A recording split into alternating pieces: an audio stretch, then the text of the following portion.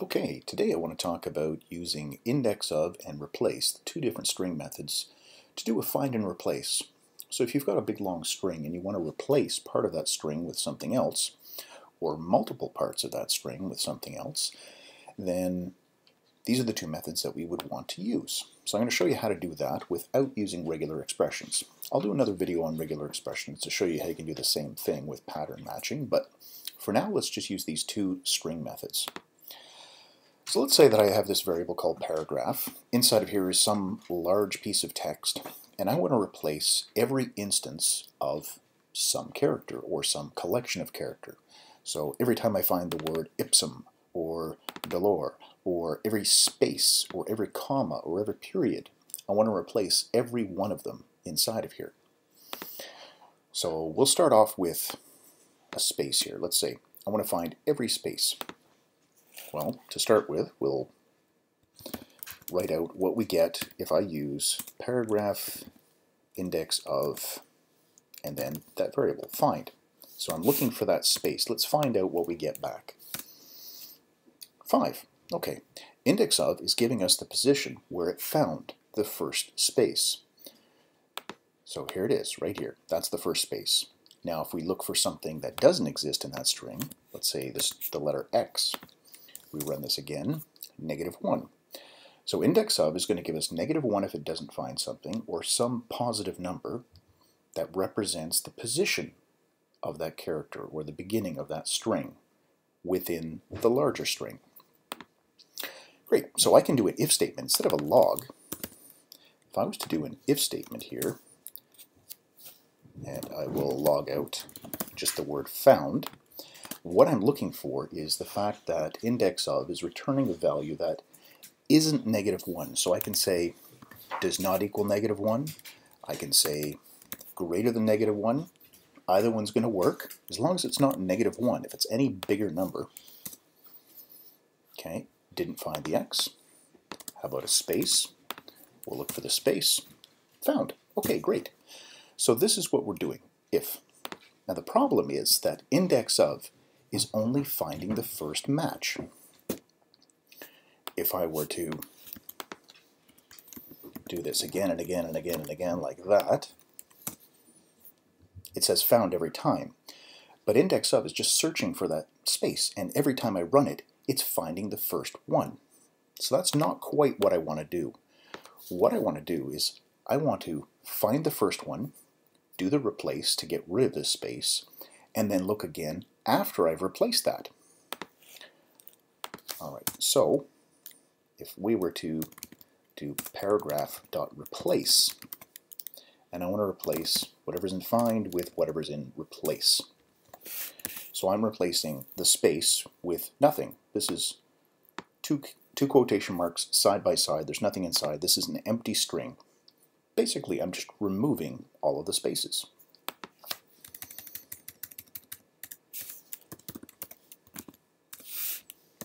I'm going to write out paragraph afterwards. Do this. Okay. So I know that it found it because it was giving me back the message found before. And it's writing this out now. So it's writing out the paragraph. That means it did find it. The value of indexOf was greater than negative 1. But the replace, it didn't seem to do the trick. And that's because this doesn't change the original paragraph. What it does is it gives us back a new string. So the new string, let's say P, if I was to write that out inside of here, there we go. Now the space between lorem and ipsum is gone because this string is a brand new string where the first space was removed. Okay, great. Now I can do the replace and I can see the replace.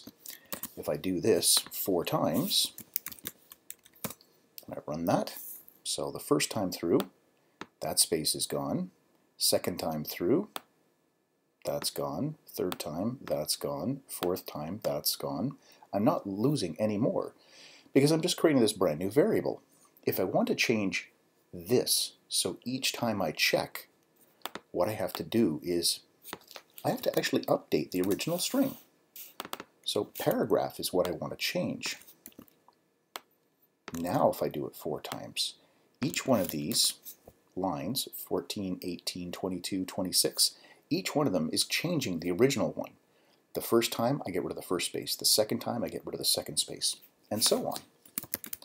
So we run this again. Oh, yes, of course, we don't want to log P, we want to log paragraph.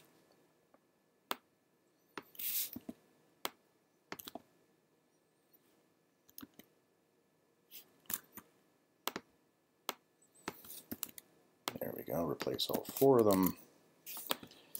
Now we'll clear that out, run it again. Okay, first time through, that space is gone. Second time, the first and the second, and then the first, second, third, then the first, second, third, fourth. Okay, so this is working. But I don't know how many spaces are inside of here, and I don't want to have to write out 600 if statements just on the off chance that there might be 600 spaces inside of here. Instead of doing an if statement, I need to do a loop. I need to run something that's going to go again and again and again. Now we could do a for loop, could do a for in loop, but with a for loop, we need to know at the very start, how many times are we supposed to loop? Again, I can say from 0 to 600, loop 600 times, and I'm assuming that there's only 600 spaces or fewer.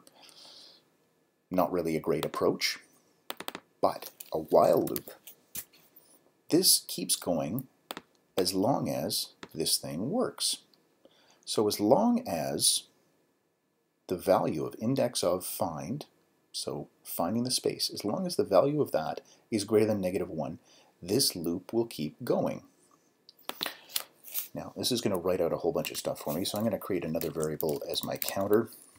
Started at 0, and inside here, I will increment it each time. This is not required for the solution. This is just, I want to be able to see how many times it looped. I'm guessing in here there's probably about 30 spaces. So I'll run this again. Okay, there we are. So you can see those numbers down the side, 0, 1, 2, 3, 4, 5, going through, and every time it loops, so there's 28, 28 times, actually 29 times because it started at 0, so it's pretty close. 29 spaces inside of here, and we can look inside of here. We'll see that there are no spaces left. In the one before it, there was one space left. And the one before that, there were two. One here, one here. So without a regular expression, we are using a loop to keep checking to see, well, as long as there still are whatever it is this is, whatever we're looking for, as long as I'm still finding these at a position greater than negative 1, it means there still are some, so I should still continue to do the replace. The counter, not required, simply there to let us see what's going on. So even without that counter, if I come down to the end here and I just log this out once, there it is. There's the final result. There is my updated paragraph that has all of these things removed. Now, if you didn't want to change the original value, if you wanted to keep that, all we need to do is create a copy of it. So new paragraph is equal to, let's say, we'll make a copy with concat, and we'll add paragraph to it. Oops, there we go. So I'm doing this to make sure that I'm getting a copy. I don't just want to say new para is equal to paragraph because then I'm really talking about the same thing. Both variables are pointing to this piece of text here. I need to create a new one. So I will do a space. This is my brand new string, and I'm adding to it the contents of here. So I'm getting a brand new string inside of here. Now I just replace these with my new one. There we go, like that. Run it again, and it works. So now I have a new variable that has had all the spaces stripped out of it, and my original is still the same.